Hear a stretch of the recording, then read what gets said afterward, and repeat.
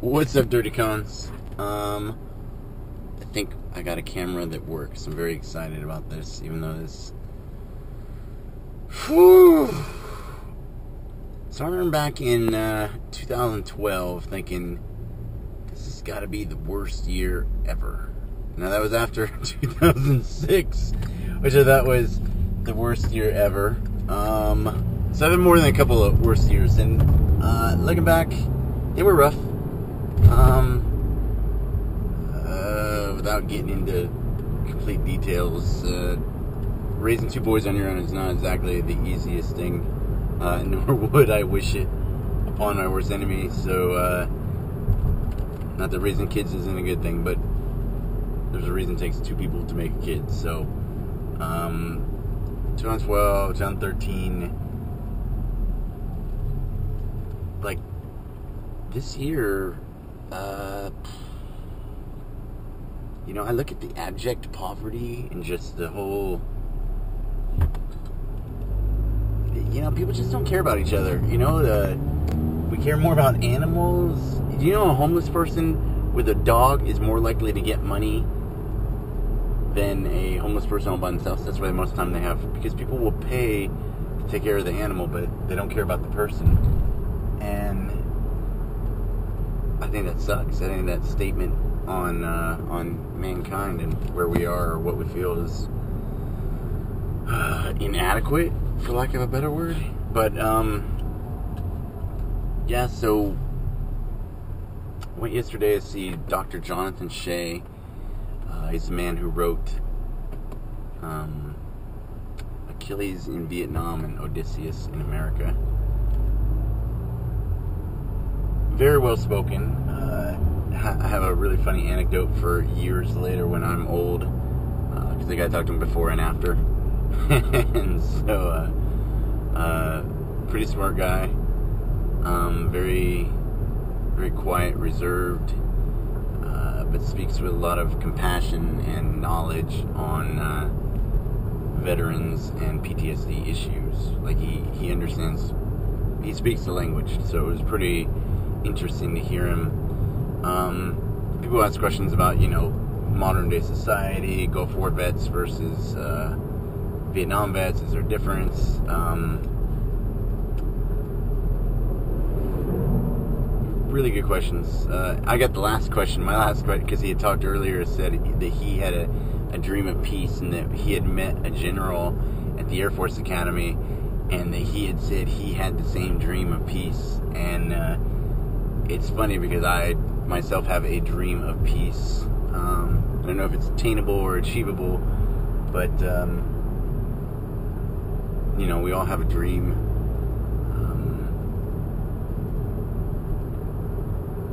Um, we all have a dream. So I asked him what was his dream of peace and how would he obtain it, and uh, he drew it back to until everybody feels secure and safe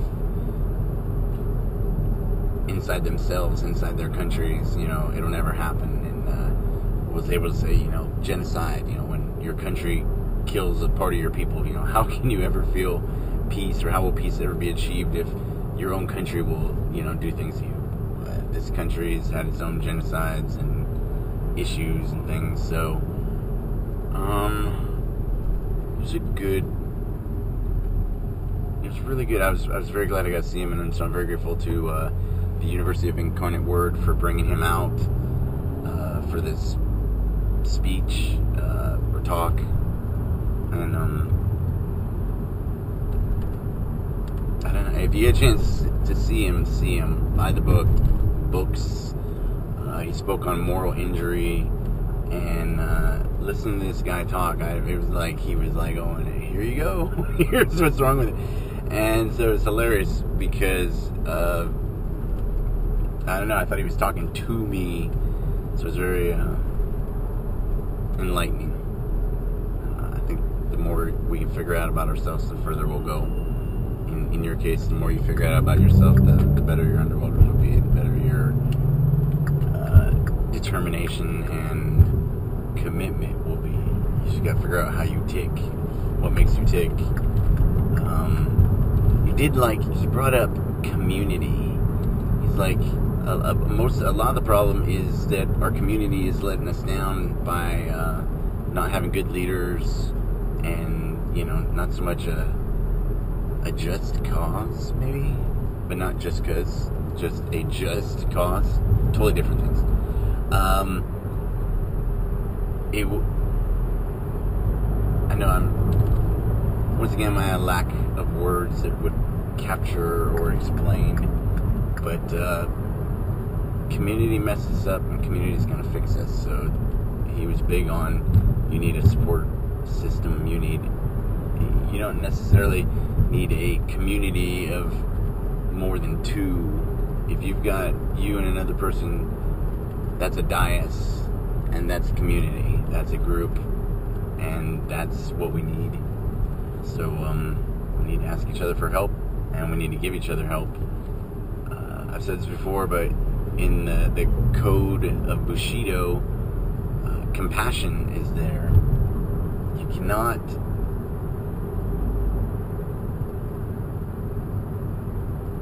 you can't love life if you don't love people. And, and I say that as because there's a lot of people that I strongly dislike.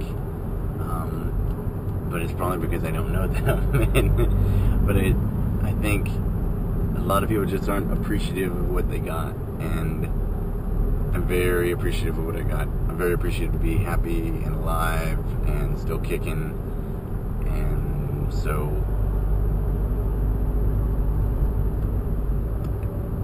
community. We need each other, and that's the only way we're going to fix it. Uh, I was talking to a younger person the other day, young cone, and you know he's like, oh, "I hate my generation." I'm like, "All right, I agree with you. I'm not a big fan of your generation, but." Your generation has the greatest potential out of everybody on this planet to fix this mess. Uh, you guys just got to come together and make it happen. So, so, a lot going on. We can learn a lot. You can learn a lot from old people. You can learn a lot from young people, and you can learn a lot from anybody. You can learn something from everybody. You just got to be open for it. And unfortunately, I don't think we're completely open for it. Um, do. Oh man, he said, if not for Vietnam, we never would have had Iraq. And I, it, that made sense. You know, Iraq was our feel good. We're gonna make the world a better place, kind of thing. But I don't think there's really been a good war since World War II.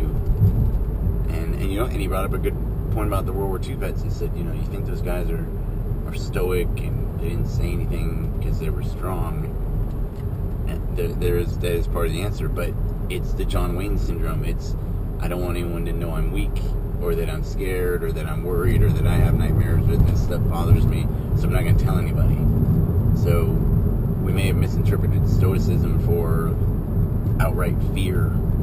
Uh, I mean, after World War II, they built all of these uh, mental health facilities, huge for all the guys that were shell shocked and trauma and, uh, you know, not doing too well. But you never hear about that. And I thought that was a really good point. So, um, because we don't ever talk about anything. I mean, you and I, we talk. but the rest of the world's not talking. Uh, and if they are, I don't think they're talking about the right things. You know, we got to fix the mess, not just make new messes.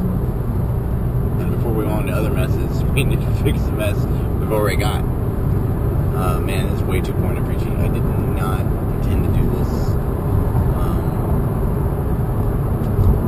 but I would encourage you, Dr. Jonathan Shay, to get a chance uh, to check him out. Really good. Really, really good. That's it. Hope, hope training's going well. Hope life's good. Don't worry, life's still beautiful.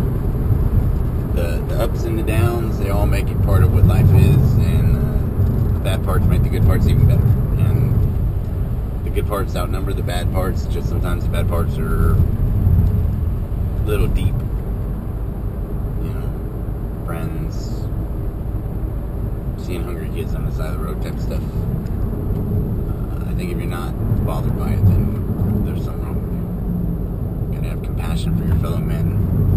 Uh, men being mankind.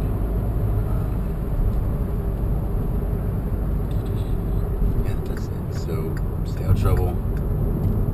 Make sure you run with good people. Make sure you do the right thing. Uh, stay healthy, both physically, mentally, spiritually, and uh, be good. I'll chat with you later. We go.